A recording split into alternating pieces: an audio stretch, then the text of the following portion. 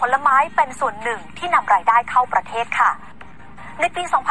2564 มูลค่าส่งออกทั้งผลไม้สด ผลไม้แห้ง ผลไม้แช่แข็ง ผลไม้แปรรูป รวมกันกว่า 250,000 ล้านบาท เฉพาะผลไม้สดนะคะส่งออกได้ถึง 190,000 ล้านบาท แล้วก็เป็นครั้งแรกในประวัติศาสตร์ด้วยที่ทุเรียน ราชาแห่งผลไม้ส่งออกได้เกิน1แสนล้านบาท มากกว่าการส่งออกข้าวที่เป็นสินค้าเกษตรหลักมากว่า 30 ปีทำให้วันนี้นะคะทุเรียนกลายเป็นพืชเศรษฐกิจตัวใหม่ ที่นำรายได้เข้าสู่ประเทศ เป็นแรงส่งให้ผลไม้ไทย มีบทบาทสำคัญในการเป็นสินค้าเกษตรส่งออก ครองส่วนแบ่งสูงสุดถึงร้อยละ 29 ค่ะ และอย่างที่ทราบกันดีนะคะ ว่าตลาดส่งออกทุเรียนที่สำคัญก็คือจีนค่ะ ในปี 2564 ไทยส่งออกทุเรียนสดไปจีนกว่า8แสนตัน คิดเป็นมูลค่ากว่า 1,400 ล้านบาท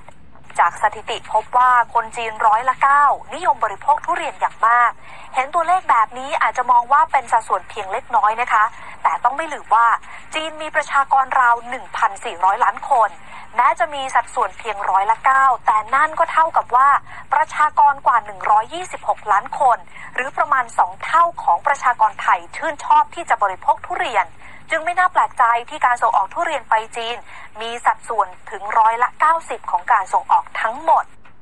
และยิ่งคนดังระดับโลกอย่างแจ็คสันหวัง โพสต์ภาพถือทุเรียนแสดงอาการชื่นชอบทุเรียนอย่างมาก ก็ยิ่งเป็นการสร้างกระแสให้ทุเรียนไทย เป็นที่รู้จักในตลาดโลกมากขึ้น